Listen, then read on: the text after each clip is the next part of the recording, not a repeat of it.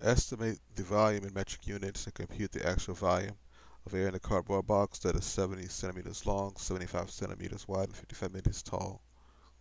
Use the formula for volume. Length is equal to volume is equal to length times the width times the height. So over here you see I have used the formula.